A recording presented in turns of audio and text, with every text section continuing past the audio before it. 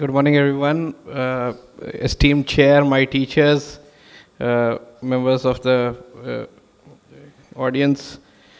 So this is a presentation which I am mainly directing towards the young generation and the, uh, the postgraduates, making the most of post-graduation and residency, my seven golden rules.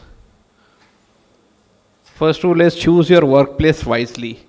And this wise decision should be based on the status of the compulsory bond, the faculty of the department, resources, research opportunities, industry exposure, as well as the language, working hours, food, remuneration that might be significant for some, and the number of attempts at the entrance examinations or the interviews that, that are uh, there. What I would like to emphasize is it is not wrong to engage with another institution if necessary and if possible in parallel wherever uh, rules allow. The second golden rule is keep alive an active approach. You have to actively catch the best of rounds in classes, prepare properly before the clinical discussions, read about the cases seen in OPD, discuss with peers and seniors, stay abreast with the latest developments and research in the subspecialty of your interest, and experiment with the available resources. For example, you can practice suturing using your own instruments under your microscope whenever the time allows. My third golden rule is learn from all sources. You have to have a global outlook with local relevance. So you have to incorporate all sources into your uh, gamut from which you have to draw important information.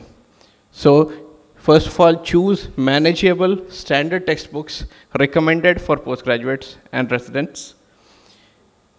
You can read package inserts of all medications and consumables that are uh, opened in the operating room or uh, in your OPD. For example, you have cyanoacrylate glue, uh, which, which is not properly written in your textbook. So you can take a, take a package insert and uh, go through it, and you will, you'll get some insights about what a cyanoacrylate glue uh, behaves like when it comes in contact with the tissues attend conferences and teaching programs whenever and wherever possible.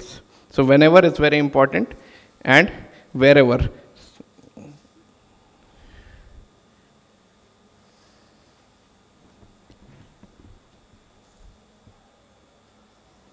Wherever possible. So wherever, uh, about wherever possible, I'd like to tell you that I had a knack for conferences and I used to travel long distances to attend physical conferences so I, I was uh, uh, an MD student in AIIMS Rishikesh, and I used to attend conferences uh, in the, say, uh, I've been to Delhi, I've been to Indore, I've been to Varanasi, been to Kolkata also for conferences.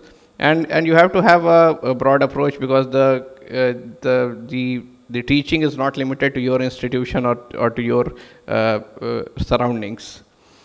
You can at attend surgical skill transfer courses and diagnostic skill transfer courses to iron out any deficiencies that you might find in your uh, routine work, whether surgical or diagnostic. And you have to interact and network with people, be it your peers, be it your seniors, be it your teachers, so that you can gain the best from them. The fourth important point, use technology to your advantage. I would recommend an iPad, no financial interests to store and annotate ebooks, take notes, view online surgical and teaching videos, prepare teaching learning content, practice drawing ophthalmic diagrams, learning through augmented reality apps, and you can even practice surgery through some apps that are available for free on the App Store. The second important thing is a good camera phone with a net connection which works in your hospital zone. You, you can capture clinical images, download and transfer online content, view 3D virtual reality surgery, which is now available in YouTube. You can store important contacts. You can use social media, uh, but it has to be used wisely. And most importantly, you can make calls.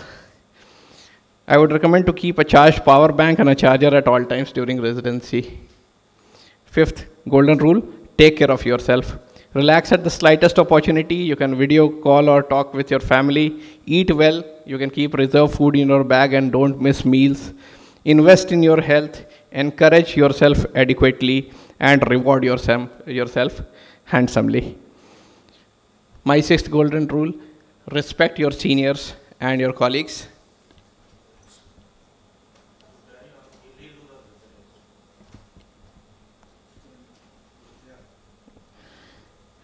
choose your mentors intelligently, identify your support structure, seek help from the correct people whenever required, draw a line for your personal space beforehand, and exceed the line infrequently.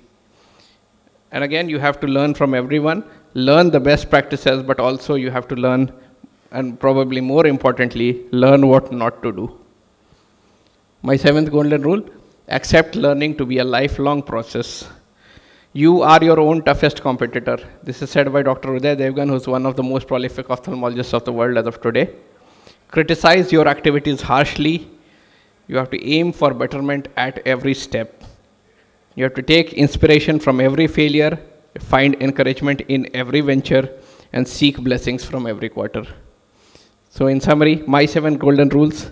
Choose your workplace wisely, keep alive an active approach, learn from all sources, use technology to your advantage, take care of yourself, respect your seniors and colleagues, and accept learning to be a lifelong process.